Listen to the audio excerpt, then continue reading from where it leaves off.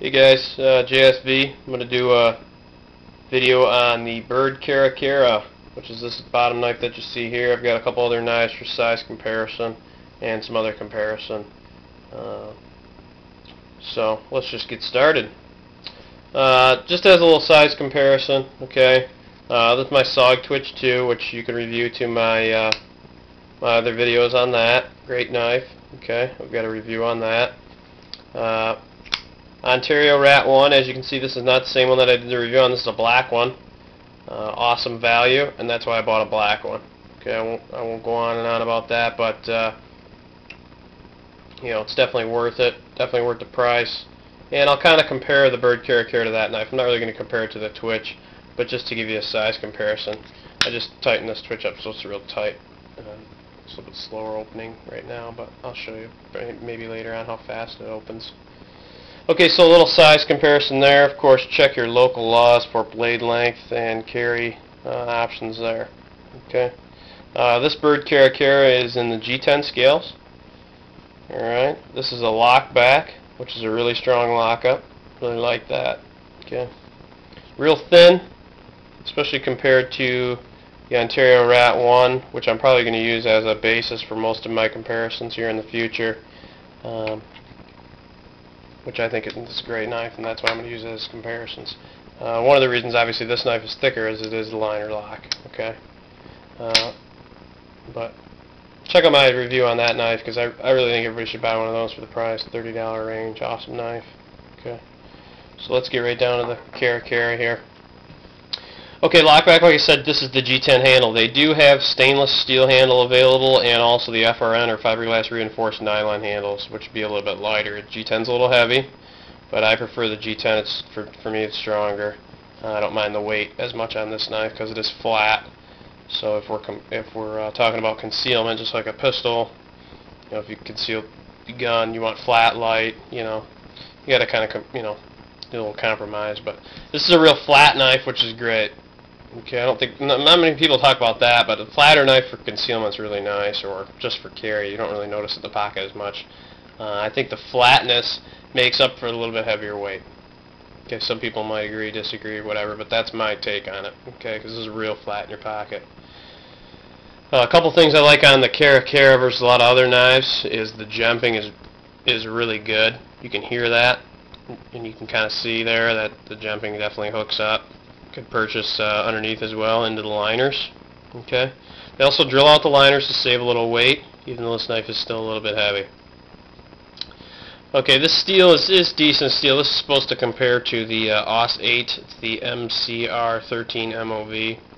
Um, I haven't sharpened this knife, so I can't really vouch for the, you know, the resharpening capabilities. But I'm really not planning to use this knife for cutting boxes or anything like that. I'm, I'm, this is more of a defensive type knife for me. It's kind of big for me. Okay. Uh, here's your overall length of the knife. I always kind of give the hand comparison. Okay. And that's about what you're looking at lengthwise. Uh, but the blade is over 3 inches, so check your laws um, on that. Okay. Thing I do like is uh, with a full grip, for me, I don't have huge hands, but you still got some on the bottom sticking out, and then you can still choke up on it there. Okay. Give you a little bit better uh, a little bit better grip on it. You can do a little more precision cut, that type of thing. Okay. So lock back. Okay, like I said, I just tightened this one, so it's this is not a good representation of how quick this blade is. Uh, I will loosen it up here in a little bit for you guys and show you how fast it does deploy. Okay. Uh, things I don't like about this knife. Okay.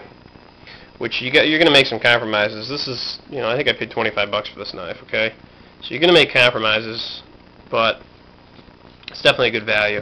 Uh, the clip, I was kind of disappointed in the clip. It's pretty weak. It's also polished. Uh, I would prefer a flat black, or at least black, um, um, clip. Alright? Which is really not a big deal at all, but the strength of it is kind of a big deal. You can hear that. See how weak or loose it is? I'm probably going to bend it a little bit. Maybe it's just my knife, I don't know. But in comparison, sorry about that, in comparison to the Ontario Rat 1, I can't even get my finger under it. Okay, so it's, it's super tight. Pretty much the same style clip.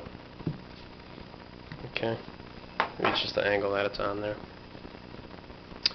Uh, this spider cut, I'm sorry, this bird cutout, where your spider cuts around is a little bit bigger. Which if you have gloves on, it's awesome. It gives you a really good area to get your finger in there and get that thing open quick.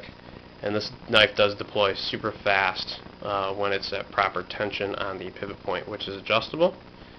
And another nice thing on this is this is all set up with uh, Torx heads, uh, you know, lugs or screws on the on the liners and on the scales themselves. You can take this knife completely apart and clean it out. I really hate knives that are pinned uh, it just seems like when you use them, they, if they get wore out, you're you're pretty much stuck with it. You can't adjust it, tighten it up. I think you should be able to take a tool and use other tools to adjust it. That's just me. Okay. Another nice thing I like on this knife is that you could use it as like a Kubotan, like I said, when even when the blade's extended, you have a lot of that bottom, but you have all of this jimping right here, which gives you a, a good grip. Okay. If you didn't want to deploy the knife, more of a non-lethal type grasp, uh, but definitely you could do some damage with that. That's all stainless and G10 on the end, and and that could that could definitely uh, could help you out. Okay. So I'm going to loosen up this pivot point real quick because I got this thing super taut, and I'll show you the deployment on it. Um, one other thing that I kind of don't like, sorry to go back and forth with the likes and don't likes, but I really prefer a flat ground blade. Um, that's just my preference. A lot of people don't care. Uh, the Ontario Rat one, flat ground, nice and thin. I mean, I really like that style. I'm not much for this hollow ground, I guess you could call it uh, blade setup, but yeah, you know, to each his own. It definitely offers more strength. I mean, look how thick it is, you know, prying, that type of thing. It's a lot thicker, so it's give and take there, I guess. Another thing I want to say about this knife is there's no play in these knives at all. Okay, when you get them side to side, up, down, all around, this thing's tight, real tight, built for abuse. So for that, you know, 20 $25 range, this is, this is a really, really good purchase there. Okay, so I'll loosen up that pivot point and kind of give you guys an idea about deployment. Alright, I loosened up that pivot point a little bit. Like I said, that was super tight. Okay, just with the one little flick there. Also what's nice on these, the lock back, if you keep your hands in the correct position, or even up here, but obviously be careful with sharp blades, you can release your lock. That blade's going to fall. It's not going to cut you. Flip over, close, back to open. So full one-hand operation, just like that. Okay. Versus your liner lock, as in on this Ontario Rat one, where you push over and push down.